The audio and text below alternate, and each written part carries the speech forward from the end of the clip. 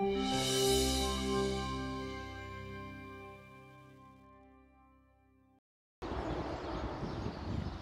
U.S. Department of Agriculture is helping rural landowners clean up water that ultimately reaches people living far from farms and ranches. Those citizens are utilizing water that is coming off of this land.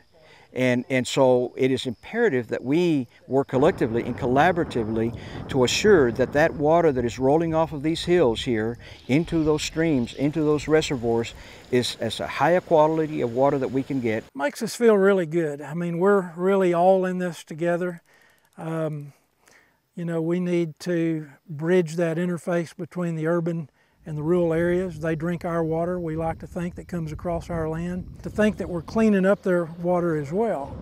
And uh, that's a benefit to us to know we're doing good to our neighbors downstream. Through the National Water Quality Initiative, USDA's Natural Resources Conservation Service is offering financial and technical assistance to landowners interested in improving water quality through practices like grass cover to slow runoff and fencing to keep livestock out of streams. We develop a contract uh, with that producer based on the conservation plan to address those resource concerns that he needs to address to be able to treat that land to be able to filter that water before it goes into those streams. Whether it be brush control or cross fencing and getting a grazing management plan established with NRCS and then just the technical guidance that they're going to get from the, the NRCS personnel. Price says NRCS assistance is a great incentive to implement conservation measures on his land.